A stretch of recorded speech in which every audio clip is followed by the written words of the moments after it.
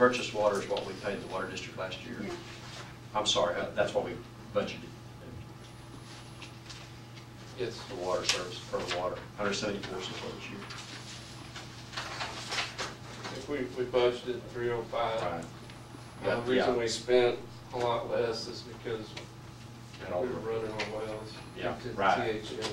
Right, cover there. But now with the new Safety issue. system, with the new system online, we're probably gonna go back up again? Yes, that ma'am. what you- okay. Yes. So their revenues are projected to go up this year. Along with our penny tax increase. Yes, sir.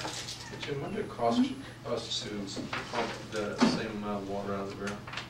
Is this electricity or? Electricity, and then we pay the, uh, the uh, Prairie Lands Groundwater District, would pay them twenty cents per thousand gallons. Where on here is how much we spent for that, that extra hundred and thirty thousand dollars that we didn't spend on I county think- water. I think it still comes out of that same figure. We still, still are buying that water. Okay. So when we pay Prairie Lands per thousand gallons at twenty cents, came out of purchased water and well. Okay.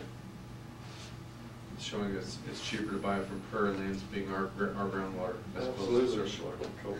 Okay, Yeah, all right. I think it was just more of a conservation effort Okay. on the city's part when they entered into that agreement.